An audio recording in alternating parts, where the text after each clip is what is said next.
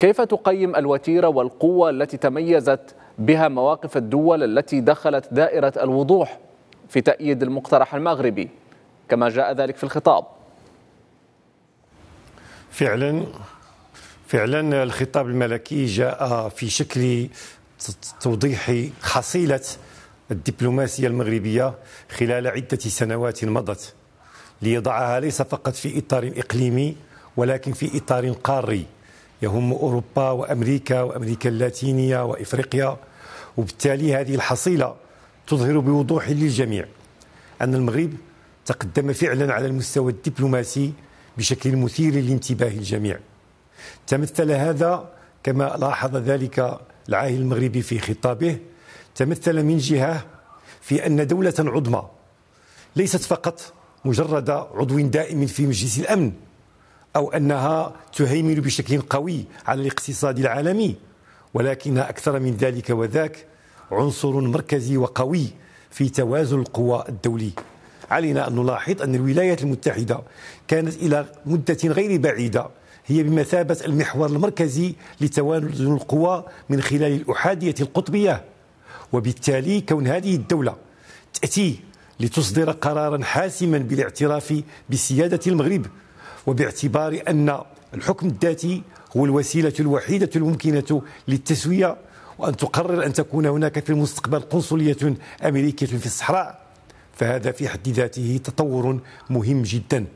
أقول هذا لأنه منذ هذا الاعتراف الأمريكي لاحظنا كيف أن ردود الفعل اختلفت بين مناصر ومعارض ولاحظنا كيف أن دولا كانت تعتبر صديقة إلى مدة غير بعيدة من الزمن. كما مثلا بالنسبة لألمانيا سارعت إلى تقديم طلب لعقد مجلس الأمن. أسبانيا كذلك تنكرت للموقف المغربي وناصبته العداء. وظهر واضحا للكثيرين أن المغرب ربما يدخل في زوبعة لا حدود لها لكن شاءت إرادة الله أن تعود الأمور إلى نصابها. وأن نلاحظ كيف إن إسبانيا تصرح على لسان رئيس حكومتها بأن هذا المقترح المغربي ليس فقط مطبوعا بالمصداقية ولكنه هو الأكثر مصداقية والأكثر جدية والأكثر واقعية. وبالتالي جاء هذا التطور المهم وكذلك إقرار ألمانيا فيما بعد بأن هذا الحكم الذاتي هو الوسيلة الأساسية للتسوية. أصبح يظهر واضحا في قلب أوروبا وقد توالت بعد ذلك عدة دول هولندا بلجيكا آه، صربيا آه، عدة دول في أوروبا صارت في نفس الاتجاه. وهذا يعني أنه على مستوى الاتحاد الأوروبي المستقبل واعد بكل خير. العاهل المغربي أشار كذلك إلى الوضعية داخل إفريقيا نفسها التي استطاعت قوى المعاداة للوحدة الترابية في فترة من الزمن وفي استرخاص أمين عام لمنظمة الوحدة الإفريقية أن تقحم البوليزاريو كدولة. هذه الدول مباشرة عندما عاد المغرب وضعت أولا لائحة ب 28 دولة. وقعت جميعها مطالبة إما في طرد البوليزاريو أو تجميد عضويته إلى أن تبت الأمم المتحدة. ثم أكثر من هذا وذاك. اليوم 40% من البلدان الإفريقية قاطبة.